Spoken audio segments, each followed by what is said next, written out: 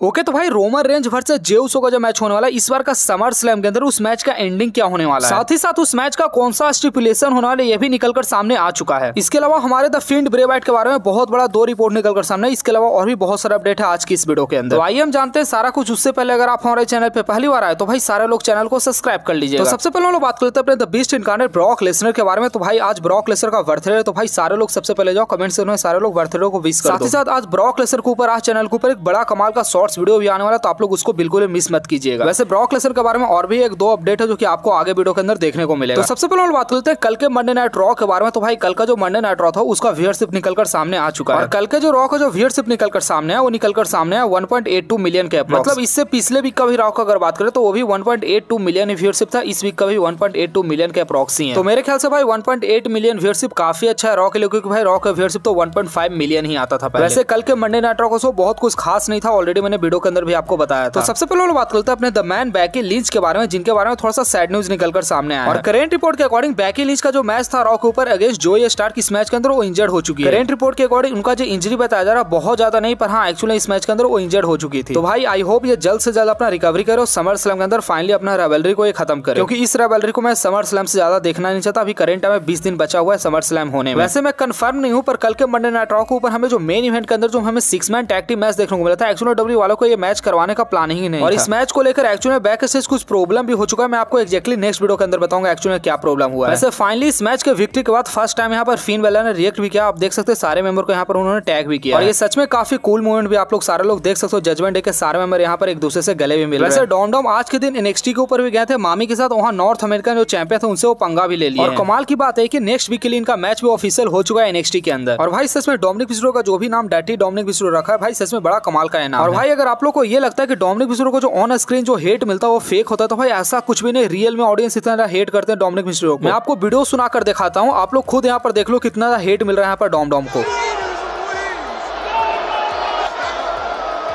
तो भाई इसीलिए करेंट टाइम में मेरे डोमडम one of the favourite superstar वैसे मेरे ख्याल से नॉर्थ अमेरिकन चैंपियंस वर्ल्ड जीतने नहीं वाले क्योंकि ऑब्वियस सी बात है डोमडम जो मेन रोस्टर के ऊपर रहने वाले थे नेक्स्ट चैंपियंस वर्ल्ड क्यों ही यहाँ पर लेकर आएँगे? नेक्स्ट बात करते अपने the beast incarnate Brock Lesnar के बारे में जिनके बारे में मैंने आपको बताया था कि डब्ल्यू वाले शायद इनका मैच करवा सकते अगले रसलमेनिया के अंदर। कल के दिन मैंने जो आपको बताया था वो वाला न्यूज़ एक्चुअली जायरो न्यूज़ की तरफ़ से निकलकर सामने आया भाई आप लोग देख सकते हो रिसेंट टाइम में रेसलिंग ब्लॉक की तरफ़ से भी सेम यही न्यूज़ निकलकर सामने आ रहा है। डब्ल्यू वाले इस मैच को ऑलरेडी विल्ड भी करना शुरू कर देगी समर स्लम के राउंड मतलब समर स्लम के बाद डब्ल्यू वाले इस मैच को विल्ड करना शुरू कर वैसे भाई मैं आपको बता दूँ अगर ये मैच रॉयल रंबल से पहले हो जाता मतलब ये रेसलमेनिया के अंदर अगर ये मैच नहीं होता तो ये मैच नन टाइटल भी होने वाला तो है। देखना ये हो कि डब्ल्यू वाली इस मैच को रेसलमेनिया के अंदर करवाते या फिर रॉयल रंबल से पहले इस मैच को करवाते वैसे मेरे ख्याल से भाई ये तो रेसलमेनिया लेवल का ही मैच है पर डब्ल्यू वाले कहीं भी इसे करवा सकते हैं। देखना ये हो कब ये करवा हाँ ये बात आप लोग सारे लोग हंड्रेड परसेंट कन्फर्म मान लो कि आपको छह मंथ के अंदर इनका मैच देखने को मिलने वाला है। वैसे भाई रिसेंट टाइम में डब्ल्यू वाले कुछ ज़्यादा ही प्रॉफिट कमा रहे हैं उन्होंने बहुत सारे रिकॉर्ड एक्चुअली में तोड़ दिया आपको ये बात जानकर शौक होगा कि पिछले 22 साल में डब्ल्यू वाले जितना मर्चेंडाइज सेल नहीं किए करेंट टाइम में उतना जाइए मर्चेंडाइज सेल कर रही है। पिछले बार इससे ज़्यादा मर्चेंडाइज डब्ल्यू वाले ने 2001 के अंदर सेल किया तो उसके बाद करेंट टाइम में ये सेल कर रही है। साथ ही साथ करेंट टाइम में डब्ल्यू कंपनी का जो स्टॉक है ऑल टाइम सबसे हाई जा रहा स्टॉक इससे ज़्यादा स्टॉक आज तक कभी हाई नहीं गया डब्ल्यू कंपनी साथ ही साथ आपको पता ही होगा डब्ल्यू वाले रिसेंट टाइम में जितने भी पेपर व्यू करवा रहे सारे pay per view all time सबसे बेस्ट रिकॉर्ड बना रही है। तो भाई आप लोग देख सकते हो करेंट टाइम में डब्ल्यू कंपनी का मज़ा ही मज़ा वैसे इस बार जो समर स्लैम होने वाला उसके बारे में ऑलरेडी पहले से इस बात को क्लेम किया जा रहा है कि ऑल टाइम सबसे बेस्ट समर स्लैम होने वाला पूरे डब्ल्यू हिस्ट्री और हाँ मैं मैच को क्वालिटी के बारे में बिल्कुल ही नहीं बात करूँ मैं बात करूँ पैसा का मामला डब्ल्यू वाले सबसे ज़्यादा पैसा कमाने वाले इस बार का समर स्लैम क्योंकि यार इस बार जितने भी मैचेस होने वाले समर स्लैम के अंदर मेरे ख्याल से मैं बहुत कम ही मैच के लिए एक्साइटेड हूँ। नेक्स्ट बात करते हैं अपने ब्रेवाइट के बारे में जिनके बारे में मुझे आपको बहुत सारा रिपोर्ट देना है एक्चुअली रिसेंट टाइम में अंडरटेकर अपने एक इंटरव्यू के अंदर इस बात को रिवील किया कि अगर ब्रेवाइट अगर आ रहा तो उसको ओल्ड वाला करेक्टर के साथ वापस आना चाहिए। क्योंकि डब्ल्यू वालों को करेंट टाइम में बहुत ज़्यादा प्रॉब्लम हो रहा है न्यू करेक्टर के साथ बुकिंग वगैरह करने के तो इससे ज़्यादा बढ़िया यही है कि ब्रेवाइट अपना ओल्ड वाला करेक्टर के साथ वापस आए सिम तो भाई अगर ये चीज़ अगर होता तो आपको पुराना वाला ब्रेवाइट देखने को मिलेगा जो कि ब्रेवाइट भाई सबको पसंद है। तो मैं भी वीडियो के अंदर हज़ार बार इस बात को बोला कि मुझे फ़ील्ड वाला ब्रेवाइट बिल्कुल भी पसंद ही नहीं वैसे भाई इनके बारे में एक और रिपोर्ट ये निकल कर सामने है जिसके अकॉर्डिंग ब्रेवाइट अभी भी करेंट टाइम मेडिकली क्लियर नहीं है रेसल करने के लिए। साथ ही साथ मैं आपको दो दिन पहले का भी रिपोर्ट बता देता हूँ। दो दिन पहले ऐसा रिपोर्ट निकल कर सामने आ रहा था कि डब्ल्यू वाले इस बार ब्रेवाइट के रिटर्न को बहुत ज़्यादा सीक्रेटली रखने वाली मतलब पहले के जैसा नहीं होने वाला की ब्रेवाइट रिटर्न से पहले ही बहुत सारा हमें रूमर देखने को मिलेगा बहुत सारा हमें बारकोड देखने को मिलेगा। बहुत आराम से सीक्रेट तरीके से ब्रेवाइट का इस बार रिटर्न करवाने वाले डब्ल्यू वाले ऐसा रिपोर्ट का कहना तो भाई आप लोग देख सकते हो रूमर तो बहुत सारा आ पर मुझे क्या लगता है ब्रेवाइट का कब रिटर्न होने वाला? आज शाम के वीडियो के अंदर मैं आपको बताने वाला तो आज शाम का वीडियो काफ़ी ज़्यादा इंपॉर्टेंट होना है तो आप लोग बिल्कुल भी उसे मिस मत कीजिए नेक्स्ट बात करते हैं ब्लड लाइन के स्टोरी लाइन के बारे में जिसके बारे में मुझे आपको बहुत सारा अपडेट देना आप लोग सारे लोग इसे ध्यान से सुनिए सबसे पहले अगर आपको ये लगता है कि डब्ल्यू वाली इस स्टोरी लाइन को रोमन रेंज के लिए चला रहे तो भाई ऐसा कुछ भी नहीं है। डब्ल्यू वाले करेंट टाइम इस स्टोरी लाइन के अंदर सिर्फ़ दो रेसलर को फोकस करे। सबसे पहले हमारे जेउसो सेकंड हमारे सोलो सिको जिमी उसो के बारे में कोई अपडेट नहीं इस स्टोरी लाइन के अंदर जिमी उसो को एज ए विक्टिम दिखाया जाएगा। जिमी उसो को बहुत ज़्यादा पुश नहीं किया अगर आपको नहीं पता तो करेंट टाइम पूरे रेसलिंग वर्ल्ड के अंदर एमजे एफ़ से भी ज़्यादा यहाँ पर हॉट टॉपिक करेंट टाइम में जे उसो बने हुए तो भाई जे उसो को करेंट टाइम में डब्ल्यू वाले काफ़ी ज़्यादा मेगा पुश देने की कोशिश करे ताकि ये वर्दी अपोनेंट लगे रोमर रेंज के सामने। साथ ही साथ रोमर रेंज और जे उसो का जो मैच होने वाला उस मैच के अंदर कौन सा स्टिपुलेशन होने वाला साथ ही उस मैच का किस तरह से एंडिंग होने वाला इसके बारे में रिपोर्ट निकलकर सामने आ चुका है। तो करेंट रिपोर्ट के अकॉर्डिंग हमें समर स्लैम के अंदर रोमर रेंज और जे उसो के बीच में हमें लास्ट मैन स्टैंडिंग मैच शायद से देखने को मिल सकता है। हाँ ये कंफर्म नहीं पर भाई मुझे भी लगता है कि डब्ल्यू वाले इनके बीच में फिर से एक नॉर्मल मैच तो बिल्कुल ही बुक नहीं करने वाले। साथ ही साथ मैं आपको बता दूँ इस मैच के अंदर